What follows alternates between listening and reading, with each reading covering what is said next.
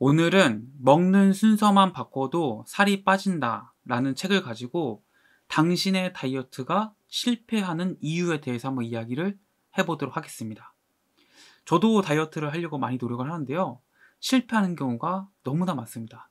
아니, 다 실패한다고 봐도 무방한데요. 여러분들도 다이어트가 쉽지 않으시죠? 오늘은 이 책의 저자, 박민수 작가님이 말하는 우리의 다이어트가 왜 실패할 수밖에 없는지 그 이야기에 대해서 한번 이야기해 보도록 하겠습니다. 이 책의 저자 박민수 작가님은요. 서울대 의과대학을 졸업하셨고요.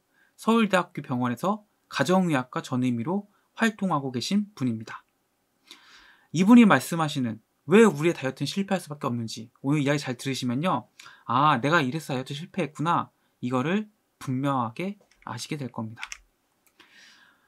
우리의 다이어트가 실패하기 쉬운 데는 네 가지 요인이 있다고 이야기합니다. 이 네 가지 요인을 알면요. 다이어트에 성공할 가능성이 훨씬 더 높아집니다. 그래서 우리가 이 네 가지 요인을 잘 알고서 우리의 다이어트에 반영을 하면 이제 우리는 다이어트 성공률이 더 높아지는 거죠. 일단 첫 번째, 원래 인간은 살찌는 유전자를 가졌다라는 겁니다. 저도 그렇지만 아마 여러분들도 대부분이 맛있는 음식 앞에서 정말 뭐 치킨, 피자, 짜장면, 탕수육 이런 음식들 앞에서 식욕이 막 폭발하실 겁니다. 저도 그렇거든요. 이런 음식을 보고 참지 못하는 거는 지극히 자연적이고 정상적인 현상이라는 거예요.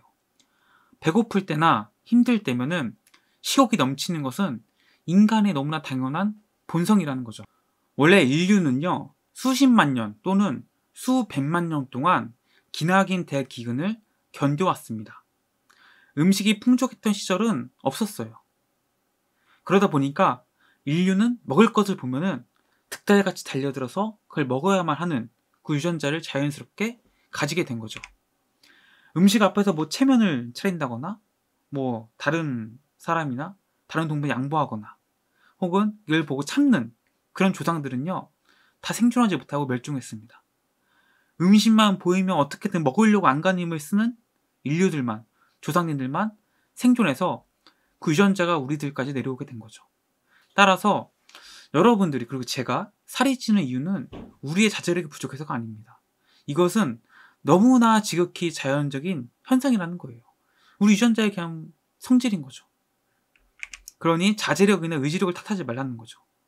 우리는 다이어트에 성공하기 위해서는 이런 우리의 식욕 자체를 먼저 인정해야 된다는 거예요.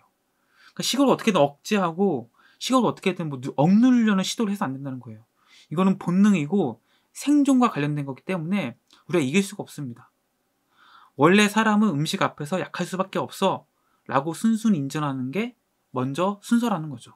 그래야지 그 올바른 현실 앞에서 변화도 이끌어낼 수 있다는 겁니다.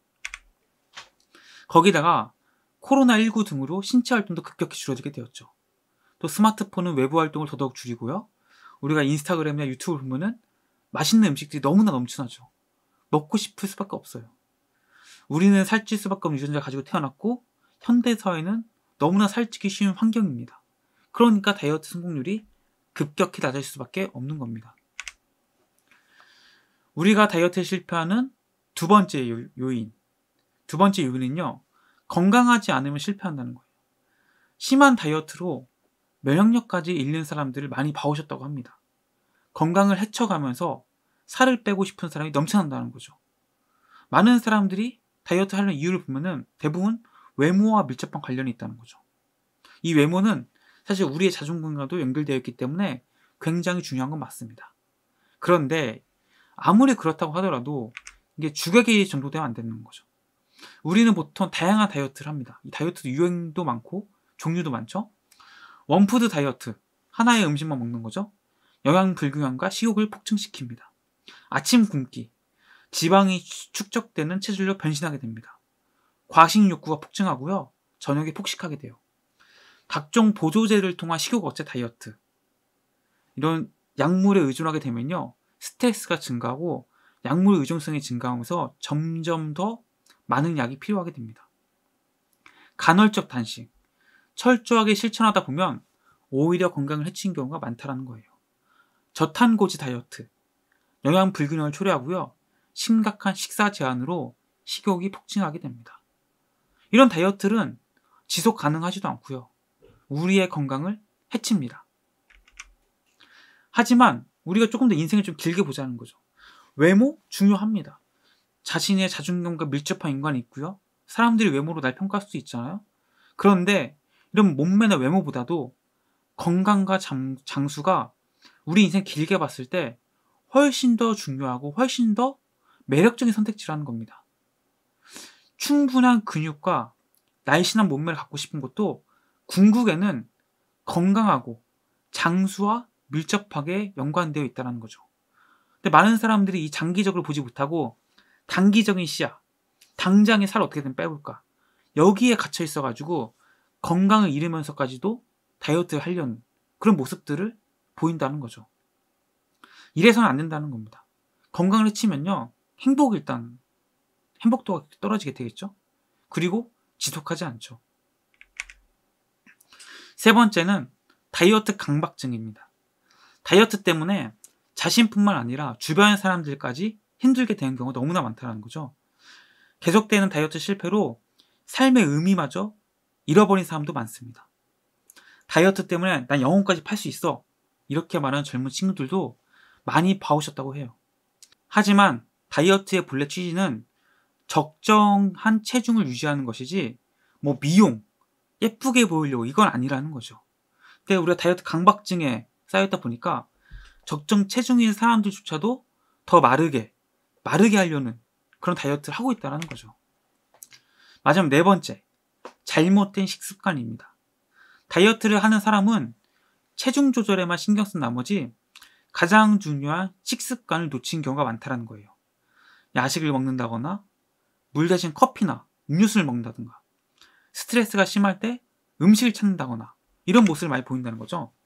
또 그리고 식사 시간을 일정하지 않고 주 3회 이상 인스턴트 음식이나 외식을 한다거나 아침 식사를 거른다거나 이런 잘못된 식습관을 가지면서 자신의 건강을 해치게 되고 다이어트도 안 되는 이런 결과를 맞이하게 된다는 겁니다. 잘못된 식습관은요, 오히려 살을 찌게 하고요, 건강을 나빠지게 만듭니다. 우리는 그래서 평소 먹던 것을 바꾸거나 제한해서는 안 된다는 거예요.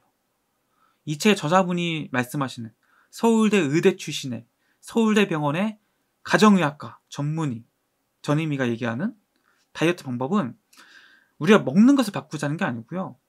순서를 바꾸자는 겁니다. 먹는 거 그대로 드시되 순서를 바꿔보라는 거죠. 그래서 오늘은 제가 다이어트 실패하는 요인에 대해서 설명드렸고 다음 영상부터 본격적으로 이분이 말씀하시는 다이어트 누구나 성공할 수 있고 누구나 건강을 잃지 않고 오히려 건강해지는 그런 다이어트 먹을 걸 먹어가면서 하는 다이어트 그 방법에 대해서 말씀드리도록 하겠습니다. 그래서 오늘 당신의 다이어트가 실패하는 이유에 대해서 제가 설명드렸는데요. 이 이유들을 잘 생각해 보시고요. 내 그동안 실패한 다이어트를 생각해 보세요. 아마 이 네 가지 요소에 다 포함이 될 겁니다. 그래서 이래서는 안 되고요.